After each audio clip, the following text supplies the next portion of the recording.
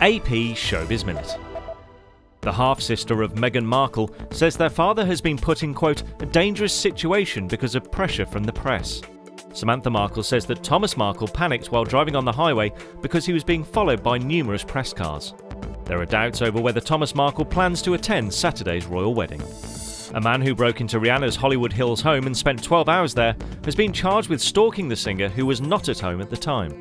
Los Angeles County prosecutors say 26 year old Eduardo Leon was charged with felony counts of stalking, burglary, and vandalism, and a misdemeanor count of resisting arrest. A painting of a defiantly nude woman that was once censored as obscene in Paris has sold for more than $157 million at an auction in New York City. The 1917 painting by Modigliani was the highlight of Sotheby's Monday evening auction of Impressionist and modern art.